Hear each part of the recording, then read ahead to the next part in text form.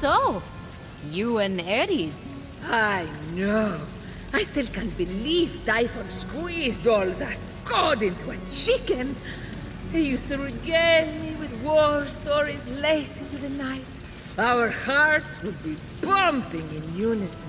He's a storyteller, like me. No, more of an actor.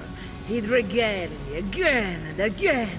Just when he thought he couldn't regale anymore, I'd get him to give me one more. Uh, okay. And one more. We get it! Let me know.